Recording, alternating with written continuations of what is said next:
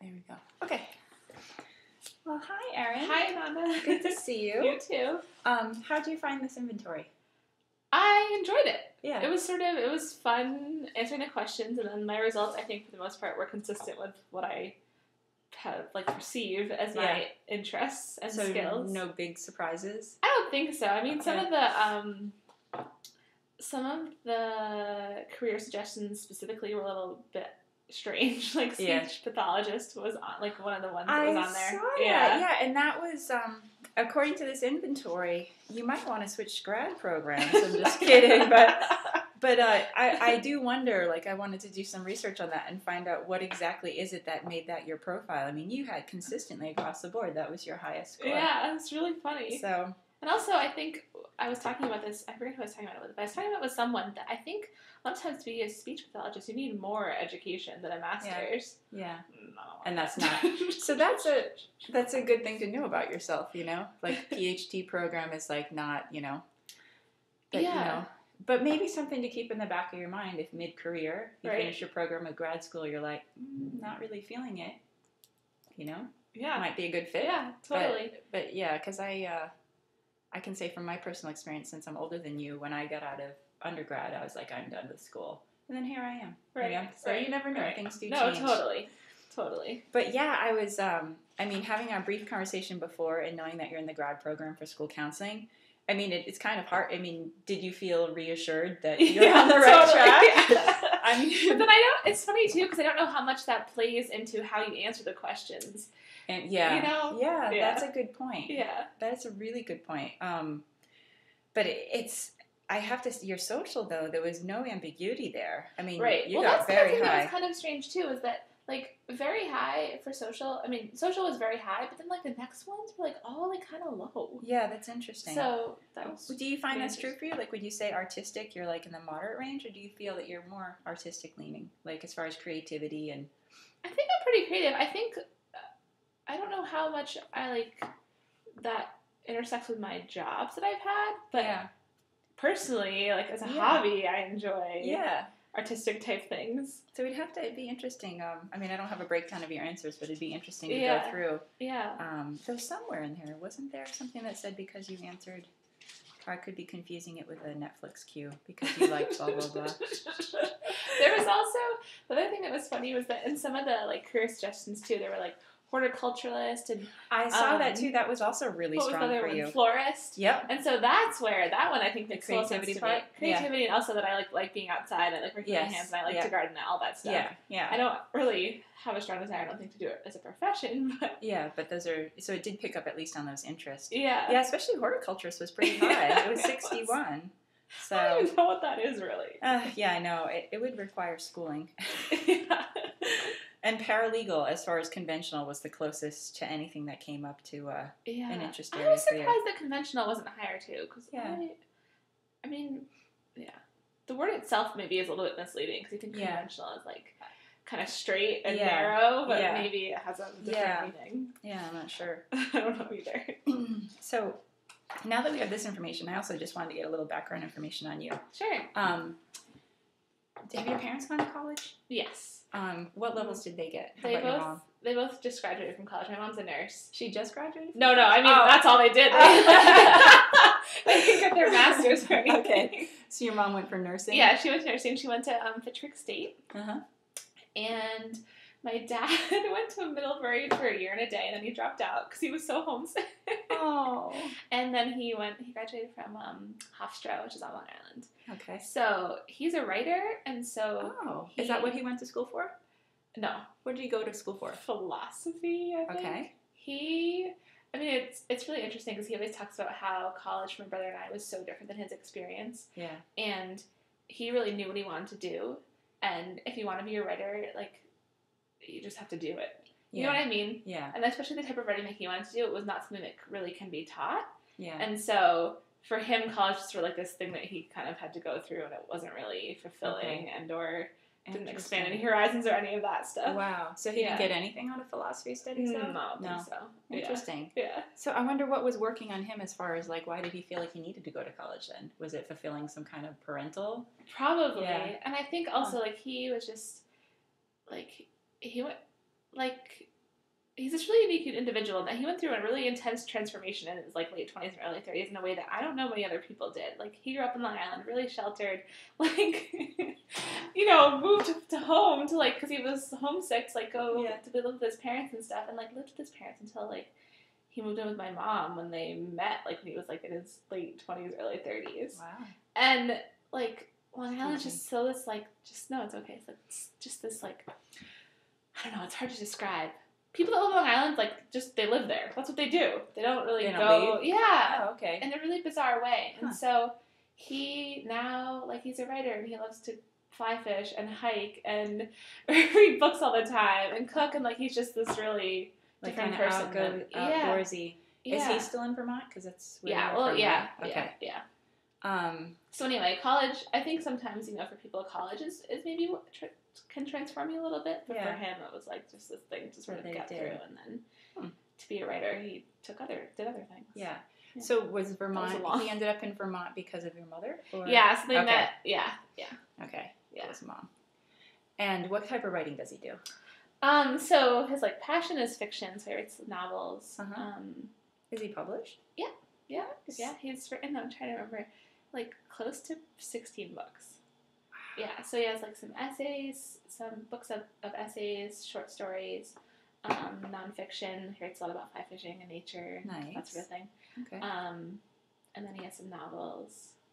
Very nice. Yeah, but it's just so different than a lot of professions. Yeah. You know what I mean? There's Yeah. not like clear cut steps you can take Right. Right. in order yeah. to do it. I know it always seems easier when you can think that a career path or just life decisions are like, "Duh, duh, Right, duh, duh," but they're not always that way. Yeah. no, yeah. Which having a father like that, I'm hoping will be freeing for you. You know, well, like, yeah, yeah, and it has, I yeah. think, because my brother, like, he um, wants to go to med school, Uh-huh.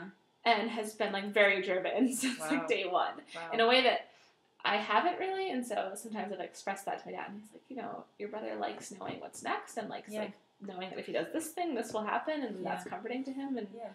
I'm not really that way exactly. Yeah. Is your mom more that way? Like, like my brother. Yeah. yeah, I think so. yeah, and yeah. the medical track right. similarities yeah. too. So your mom, it sounds like, so she went to school for nursing and she's been set ever since. Yeah. Thing has she Yeah. gone through like a maybe I should switch careers or is she just She, oh, it's really interesting because um, she wanted to be a psychiatrist, I think. Mhm. But my grandfather told her like he would pay for her to go to school to be a nurse or a secretary, and Mm. so like gender was a very big factor yeah, in the profession that she chose. yeah, You know, nursing is primarily a, still a female Yeah. profession. yeah. Um, and so, and she's only one, I don't know why, but she's only one of her siblings who went to a state school. And so all the other ones went to private schools. So I don't know. She wasn't the only daughter, was she? No. Okay, all right. no.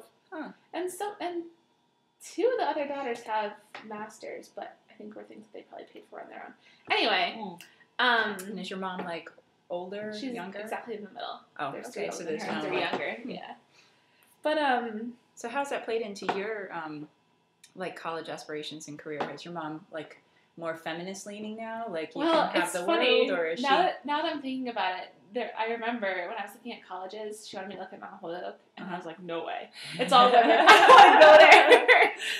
Like, I she had to drag me there, and then once I went there, like she was like, "Please just look at it. Like I think you'll like it. yeah. You know, there's opportunities that you wouldn't have other places." Blah blah blah.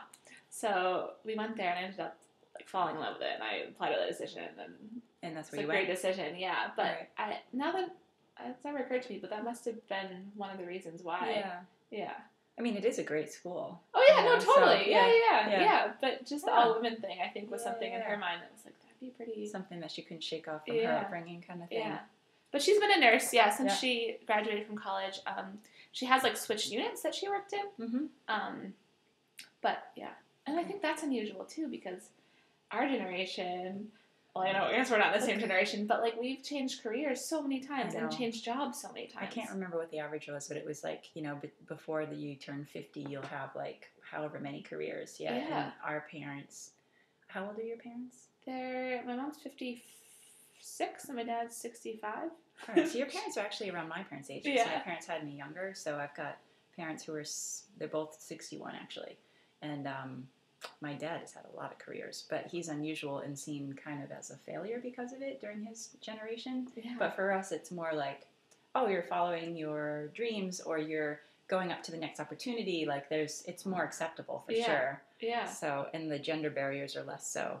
Right. Um, that being said, though, like what you're interested in so far isn't really any kind of challenge gender wise. You know what I mean? Like Right. it's not certainly not a pink collar career, but it's definitely socially acceptable to be in a social helping field. You know, Yeah, totally. so, Totally. which is great as, as long as it's what you want. You know, Um, totally. I mean, across the board, it didn't, you know, a lot of the, you know, maybe sex type careers like engineering and stuff weren't a strong connection for you, you know, but, but not, you know, completely, you know, have you ever looked into them? Like, have well, you done I exploration thinking? I was talking about this um, with Leslie, and I think what's really funny about that is that those are those are like pretty low for me, but yeah. really like in my life a lot of people that are really close to me are all in those type of careers Interesting. like sciency and Yeah. well not engineering as much but like science and medical type careers hmm like my mom my brother my best friend is getting her phd in like marine science one of my best friends has her phd or her master's in soil science Wow. just like Yeah. you know what i mean yeah. and so i can appreciate that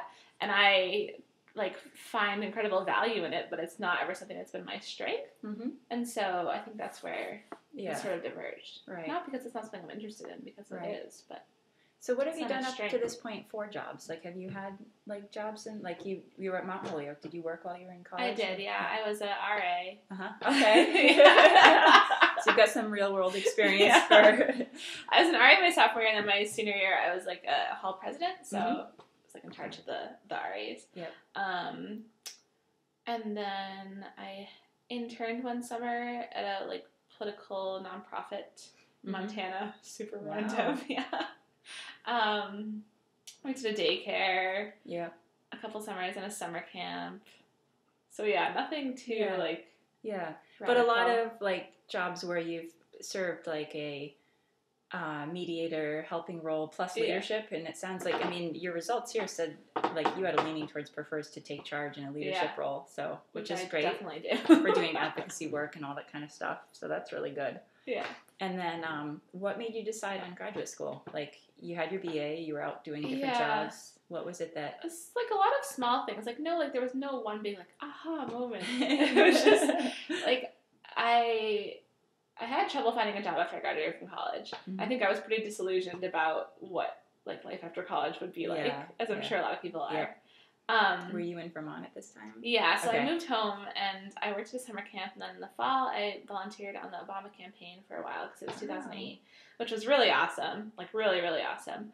And then I um, worked at a daycare for a while, and then I ended up moving to Boston, and I worked at a um, community center Mhm. for like a, a year and a half, two What years. prompted the move to Boston? So one of the guy that I worked for on the Obama campaign was like starting this nonprofit at the Mhm. community center, and so he like brought me on to help him, which was like not, it was good for like two months, and then it went like really quickly downhill. Really? And so, but like the part that was good about it was that like I got to leave my home Yeah. and like be in Boston and Yeah. all that good stuff. So that part was nice. But so then I started working um, for Ibex, which is like merino wool outdoor clothing company. Anyway, oh, so that's they're based in Vermont. Yeah.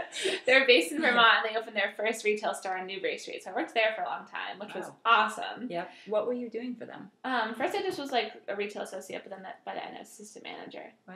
Yeah. And I could have been manager, but that was like at the point where I was like, eh, I want to go back to school. Yeah, yeah, yeah. And so that was really it. So what was I missing? just- What was like? Because um, you it sounds like you were successful in retail. You probably had the social part. right. Definitely. met. Oh yeah. So what definitely. was missing? It just at the end of the day, like it's like you're not making a difference in the Mm, world. Okay. Yeah. and that matters to me. Like you're really honestly making someone money. Yeah. You know what I mean? It's a Yeah. it's a retail business. Like you're trying to make the most money you can. Right. And so that just wasn't really that fulfilling to me. And I really super duper missed working with kids. Yeah. Like it, there is no kids. it's all adults. No one has the no Yeah. yeah. So that was part of it was that I knew I wanted to be with kids. I was pretty certain I didn't want to be a teacher. Yeah. And And how could you tell about that? I'm certain I don't interested a in hearing like what was it about teaching that you just knew you just didn't the want to pressure. It's Mhm. like such intense pressure. Yeah. for having to do so many different tasks. Yeah. Yeah. Yeah. I mean, I'm with you on that. I just wanted to find out what you're. the tasks and the test scores and like the like curriculum and hmm all behavior. I don't know. I Yeah. just give teachers full credit because I think it's a really, really, really hard job. Yeah. And I'm more sort of interested in the more like social emotional Yeah, aspects of a child than Yeah. just the academic piece. Have you narrowed down for yourself? Like, do you want to work with young children? I think so. Yeah. Yeah. like yeah. K through five or Yeah. younger. I, this summer I worked a little bit with middle schoolers um, at the summer camp, and I actually really enjoyed that. hmm Um, obviously, it's not the same as being in a school, so Yeah. I have to see how that is. Yeah. But yeah, I just I keep thinking like maybe I don't know. I enjoy most things I do, so I'm like, well, maybe I could run. Right. I, I high have to say there is a trend there. It's true. Like uh, you've you've had um, you know, not like like a 180 experience with jobs, but you've had a pretty broad spectrum, and you sound like you've been successful in all of them, which is great. That's really really great. So um. So it's not like you're. What's good to hear is that you're not running from some kind of negative. It's Right. not like you're like, oh, I failed at this and I was sucked at this and my boss said I was crap. Like you're coming from like a something was missing for me, you know, which is a really good insight. Right. So, Right. So yeah, great. I could maybe I would like it, like working with high schoolers, but I think for the most part, well, are I you like- going to? Um, are you? I know when we had our previous talk, um, you were interested in doing pre-prac at a high school. So, yeah, I'm still trying to figure that out because I think splitting your pre, splitting your pre, my pre-prac might be a little bit overly ambitious. Yeah. but are you going to still pursue your K through 12 license? Yeah. Oh, so Yeah. it's so that's So I'll do it okay. so you're still time. going to make time for it. It's, Yeah. it's just that pre-prac. You're right. Yeah. It might because it is such limited hours. It, it might be challenging, and you have work on top of it at Yeah. C score. Yeah. Um, and I mean, I don't know you that well. Like, how are you? Like, how many hours can you juggle? Like, Yeah, with that's classes and yeah. work and well, actually, it was. I mean, because Karen's my supervisor, which is just like so nice. she's lovely. Yeah, she graduated from our program. Yeah. Like, yeah, it's awesome. Um, so when she first offered me the position, she said I could like decide what I wanted my hours to be, but it could be anywhere between ten and twenty. Mhm. And so, not really knowing what like working twenty hours would be like and having a full course load, I said okay, like sixteen.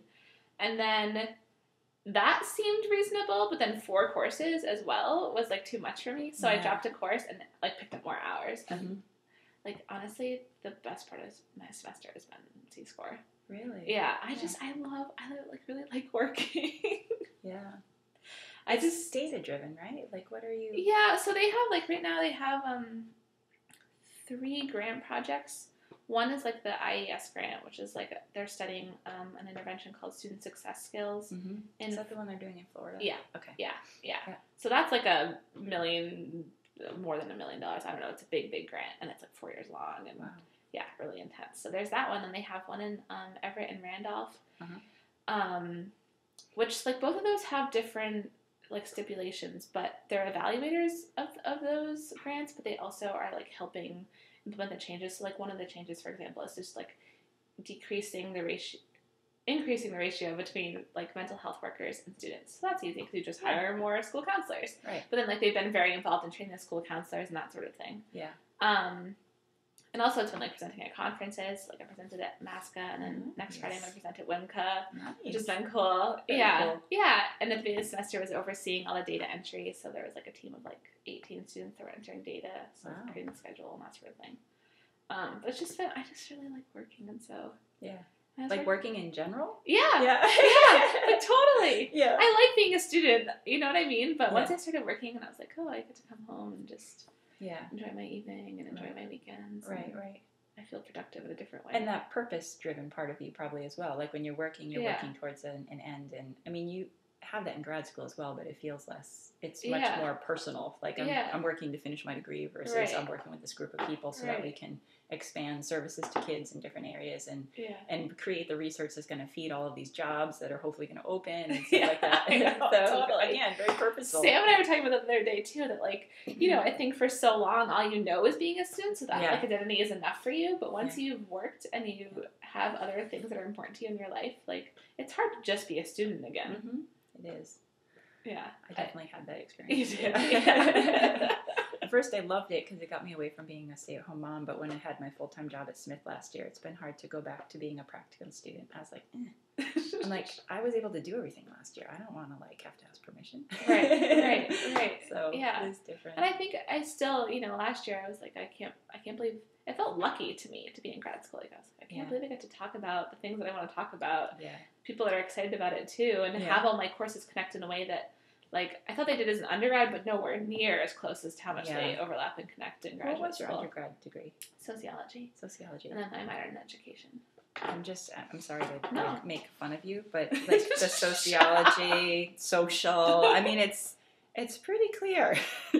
yeah. That's great. I wonder if anyone. It's it'd be interesting to see. I wonder if anyone's was like more murky or something.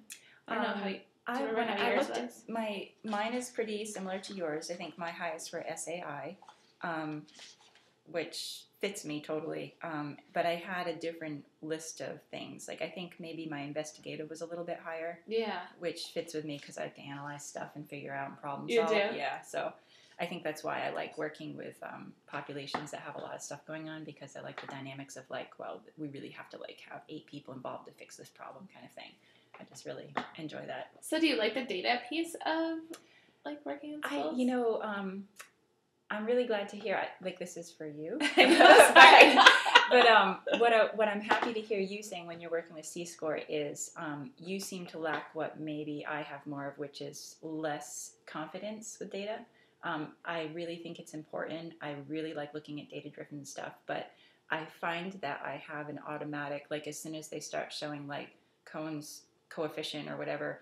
Um, that I start to glaze over, and I could understand it, but there's something about me that just says that's going to be too hard. Just shut down yeah. and I would rather not be that way. yeah. So I think that's how a lot of people in our program are. I think so too. well. And I think the other thing that is maybe not helpful, Rich, is is um is reinforcing that culture. Like, oh, this might be hard for you guys, and because it kind of gives you an out instead of going, you know, it's it does make you feel better at the beginning of class to hear, you know, this stuff at first seems heady, but we're going to walk through it and everybody's Yeah. going to get it. Instead Yeah. of it's it's a hard line to walk between making people feel like they're not going to get left behind, but also making them feel like we already know you're inept, so don't try too hard.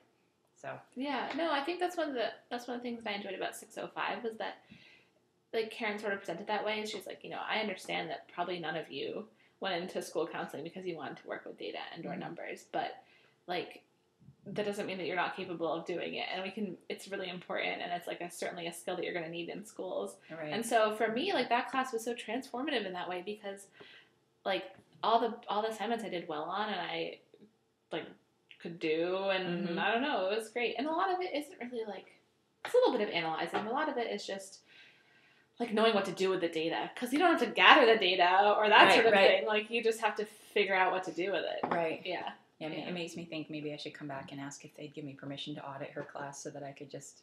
I don't know if they'd let me take it for free, but I took 605 with Jay, I believe. yeah. And that was okay, um, but um, I'll talk about it another time.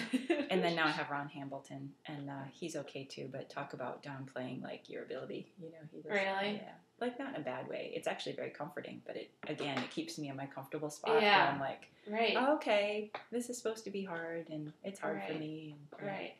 I'm taking a um, like intervention for math and reading class with Amanda Marcotte right now, Mhm. and most of it has been f- focused on reading intervention because there's just so much more research in that area, and like reading is just in a way more important than math, only because Yeah. like to do anything, Or communication. Yeah, Yeah, like whole you have to be able to read. Yeah. And so, but now we sort of focused, or shift focus talking about math.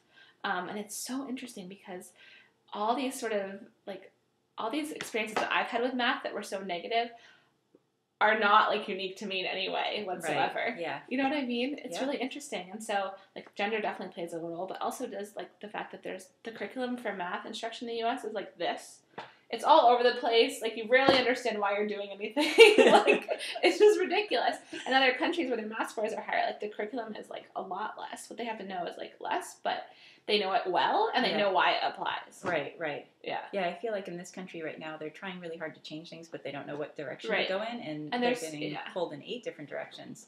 My son actually just switched schools, and they were doing math investigations in one, and they're doing another program in this other one, and the Yeah. schools are two miles away. Oh, yeah. You know, I know. and I didn't really like math investigations, so I hope this new one is one that I find.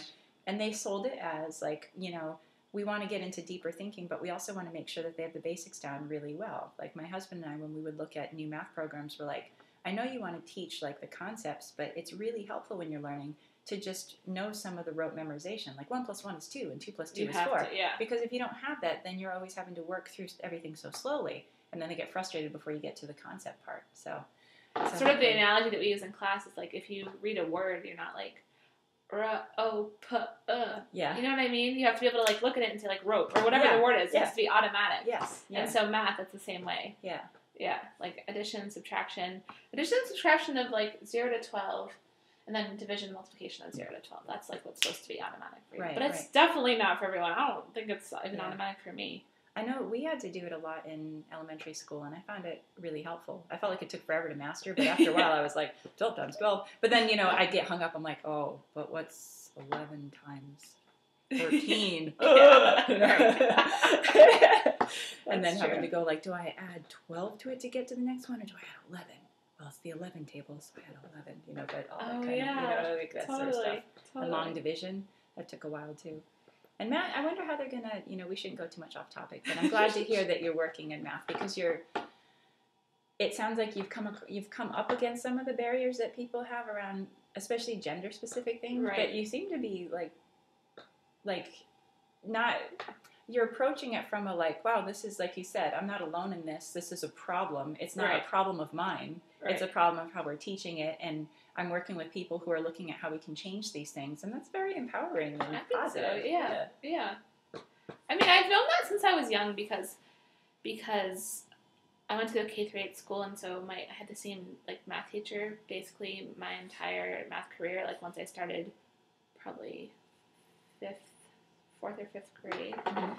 and so he was like, you know, like I don't know how old he is now, but he was this old dude. Like I'm, sh- you know, I'm sure he was very much in the mindset of like girls don't do math and boys do math, and that was definitely apparent in the classroom. Yeah. And so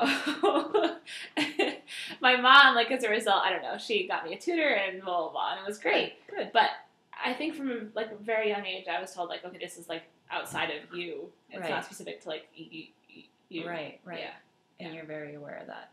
Um, Yeah. And yet now you're working with groups like C Score and Right, and it's not, and it still has never been something where I'm like, ooh, rah rah, I can't wait to work with numbers. And yeah. But do you find do you feel like you're shying away from it, or do you feel like I would think with your group with C Score, like I'm more like when I saw the advertisements for C Score, I was like, nah. not because I wouldn't find it interesting, but because I thought that I would just be swimming upstream the whole time. So Yeah. I'm glad to hear that you're not held back by Yeah. that same thing. No, I don't think so. It's also, I think, with working with numbers for me, it's always like important. As with anything, uh, even with school counseling, I'm like thinking about the big picture and like why Mhm. it's important. That helps you. Yep. For me, it helps me at least a little bit get through like the day to day sometimes. Yeah. Fantastic. Yeah. Which is something that one of the reasons too why I like wanted to go back to school because like big picture when I was working retail was like definitely not there. it's a small company and they were like treat the employees really well and like it's a sustainable product and all that stuff was good, but just in terms of like how it's changing the world in any way, I was like, yeah, no. Well, what do you um? So how you have another year? A year and a half. Year and a half, okay. years, yeah. So when you get out into the your career and you find yourself like looking for jobs or you have a job, like what kind of obstacles do you think you're going to encounter? Like what do you think is going to be challenging for you?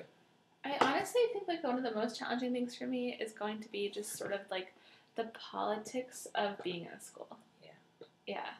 Because even like, even just in our program, I've noticed the politics are kind of intense about like professors and administration and UMass in general. Mhm. And so, and and and even going in schools, like I can feel that without Yeah. even really being like part of Yeah, the school culture significantly. And so I think that's going to be a challenge for me in navigating that and yeah, yeah. figuring out how much like to involve myself and how much not to. Right, right. And the ways that we can work that to your advantage, but I don't know. Yeah, Yeah, that could Yeah. be really tricky, I think. yeah. I think um, you know fresh eyes are always helpful. So if you're coming in. Um, in our practicum class, um, Sam actually was talking about how there's a new guidance counselor there, and the school is very stuck in the like, this is how we do it, da da da da. But having a fresh set of eyes and not being afraid to speak up, he said he's been really inspired by seeing her like just come Oh. in in a friendly way, like not Yeah. adversarial, but just saying, well, you know, I know that we have this block program, but when you like she's using their information against them, kind of like you're saying that you're having a problem with this and this and this and this and this, and you want to change these, and you know, one of the the best ways to change that would be to adjust the schedule. And she's coming up against like a brick wall. but just the process of like just kind of like gentle poking a little bit at first, you know.